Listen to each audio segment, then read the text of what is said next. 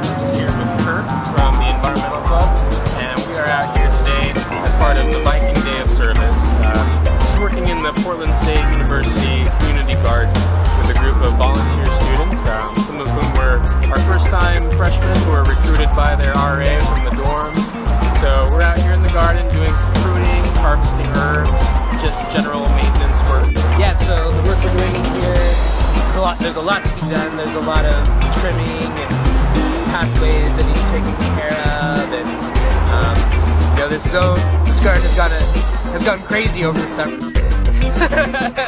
Exactly.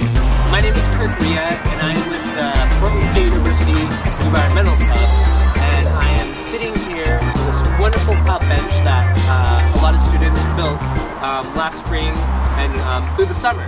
Um, and this bench is in the um,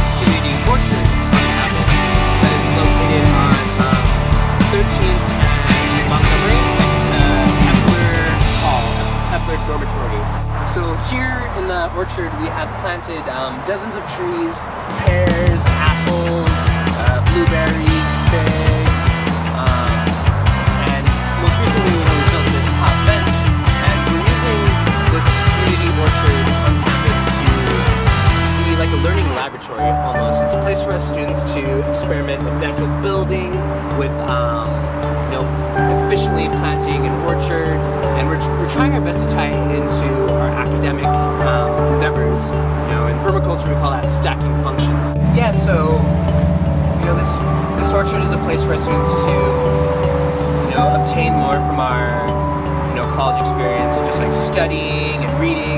Like, you know that's all good. That's why we're here. But you know when we want to you know do something physical or active to help you know to, to work with the land, like this is what community orchard's all about. It's a place where we can you know garden and take care of the land.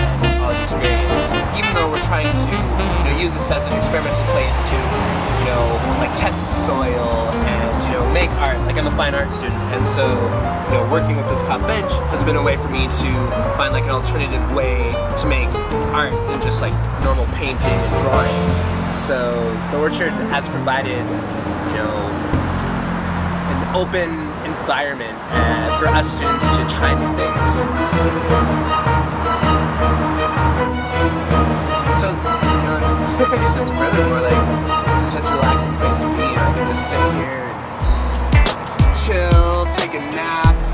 listen to the birds, listen to the cars, but I, I can still hear the birds.